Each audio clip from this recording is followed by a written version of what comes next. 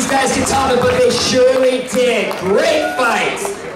So, after three rounds of great action, we go, we go to our judges for their decision. Judge number, number one scores the bout 29-28 for the red corner. Judge number two scores about 29-28 for the blue corner.